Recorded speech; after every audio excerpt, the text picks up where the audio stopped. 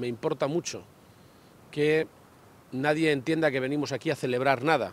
Al contrario, venimos a decir que aunque se está agotando la legislatura, la próxima legislatura va a tener un, gran tema sobre la mesa y vamos a llegar, vamos a llegar hasta el final. Sabemos que tenemos ahora la razón de Europa, la razón legal, estamos ganando no solo uno, sino varios pleitos y quedan todavía varios recursos que estamos seguros también se van a resolver positivamente para los intereses de Castilla-La Mancha y en realidad para los intereses de una España que busca ser sostenible.